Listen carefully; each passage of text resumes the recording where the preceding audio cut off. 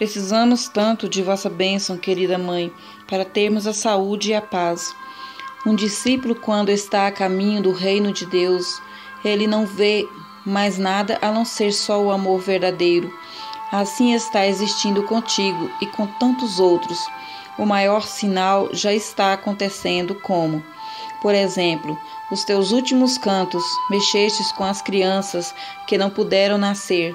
Elas foram arrancadas do ventre de suas mães, mães que não se podem mais considerar, a não ser se houver um grande e justo arrependimento, para que possam ser perdoadas.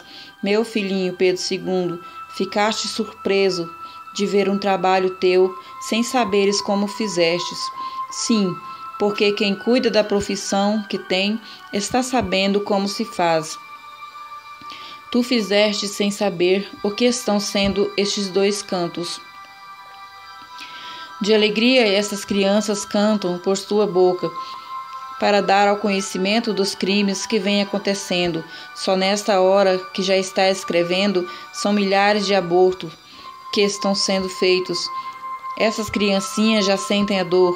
Como elas não têm mais defesa, gritam tão desesperadas que seus clamores mexem com a terra inteira.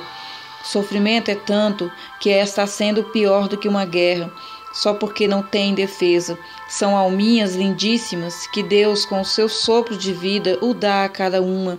Vê, meu filhinho Pedro II, se a tua mãe abortasse na época, quem escreveria tudo isto?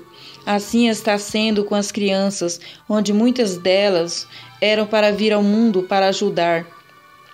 Mas o diabo entra no coração dessas mães e diz: não pode deixar nascer. As obras de Deus têm que ser destruídas. Agora quem está no comando sou eu, diz ele. A morte é meu hobby. Os crimes bárbaros são meus anjos infernais que estão cuidando para matar sem piedade qualquer pessoa, esteja onde estiver. A piedade pouco está existindo.